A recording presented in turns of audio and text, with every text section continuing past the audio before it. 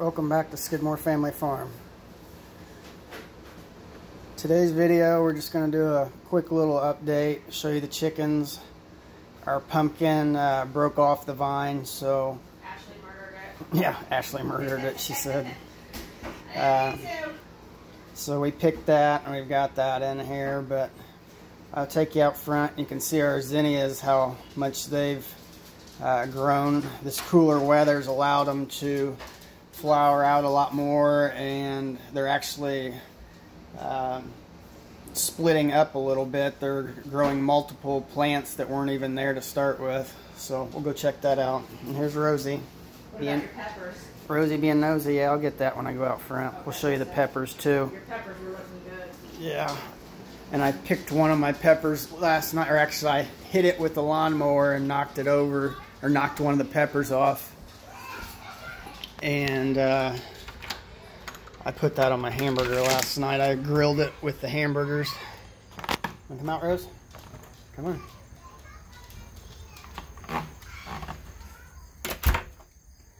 But you can see right here, look at how much these zinnias have split up and sprouted up and this was just one plant to start with. I put like four of them across here and you can see this one on the corner here has really taken off. I think it gets more rain than the others is what it is. More water. But we have our peppers here. It's one of them. These back here are the ancho peppers. That one's doing really good.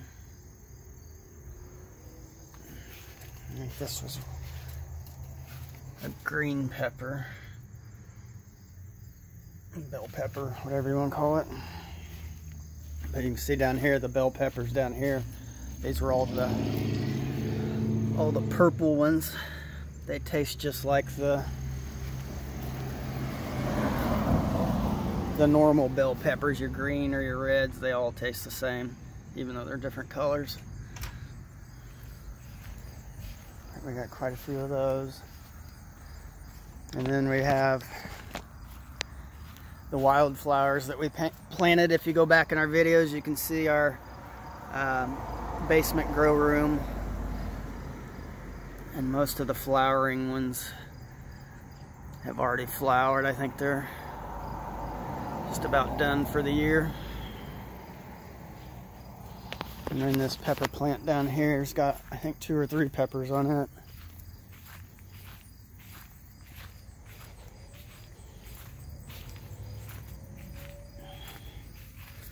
Yeah, that's got two on it.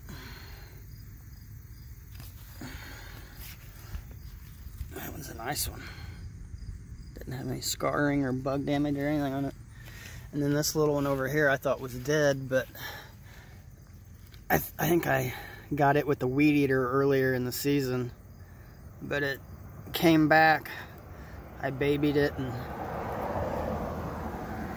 let the grass grow up around it. I didn't weed eat too much to, to make sure I didn't hit it again.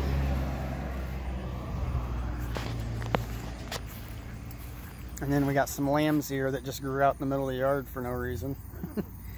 As you can see, it's just out in the center of the yard. The closest lamb's ear that I know we have is over there by the tree. That's like 30 feet away. But I've got the chickens out back and we'll go check the chickens out. They're all doing good. They've slowed down on laying. They're kind of, I think, in between molting.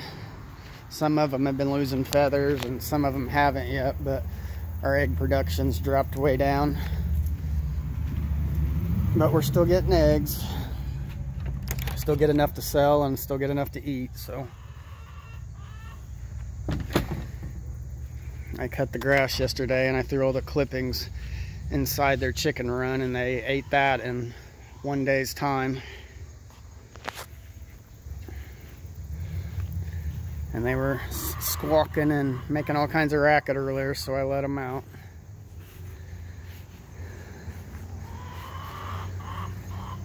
But you can see the uh, barred rock right here. Her back end is really fluffy like they are when they're when they're babies, when they're little chicks, when they're just like furry almost and no feathers. That's a sign that it was uh, molting. That's the new feather growth coming in. Yeah. That plant, that plant looks really fluffy back there. Mm-hmm. And then some of the reds are too, like this one here. You can see she's real fluffy on the back end where it was where it's normally feathers. I mean their back ends are usually a little softer and fluffier anyhow, but they're really you can just see that they're new feather growth. They're tearing up one of the black sex links too. She's got spots on her head here in the nesting box. That might be from molting. So I said they get they get bald spots. Half pints coming back now. We've already got four eggs. Yeah. Well, that's good because we got six yesterday, and They had been the four I had gotten a couple days in a row were like after two o'clock. yeah, they were real late in the day. Yesterday we had one at Yeah. like six o'clock, and the black sex link was still sitting on it, and it was warm. yeah the black sex link's over here. Okay. You're making noise. But egg production's kind of been back and forth, like I said, but they're picking back up again, I think. Like I said, I think a lot of it's just molting. A lot of them I've been finding a lot more feathers than normal. You always have some feathers in the chicken run or in their tractor, but we've had probably double or triple what we normally have as far as just random feathers laying around. And like this red here, you can see she has bald spot. I don't know if you can see that. Right around her vent. Which they normally don't have. I mean, they do a little bit, but that's pretty, pretty bad. Well, it's not bad, but They could have been a black Australorp that was in there. I guess it wasn't a sex link. I think they might have been the Australorps that were in there laying. might have been. I keep forgetting got two black ones. You just can't wait to get over here and peck me, huh? See it? to come over and peck me. I'm a pecker. Come on. You know you want him. Hi, Noisy. Hi. And we've also, we give them vitamins. Uh, we take infant liquid vitamins There we go. when they get sick, uh, or if their combs sh- like shrivel up. Like right now, you can see her comb is really tall and uh, looks pretty good. uh, got lots of color. They'll get really, uh, feet. yeah, they'll get really uh, like ashy looking, like really dry skin on their combs. It's so rough, isn't it? And that's went away. That that summer heat got them for a little bit, and they were getting a little bit uh, rough looking, and then molting and all that. But they've all got really good colors on their wattles. Like this one right here, still these two right here are a little whitish.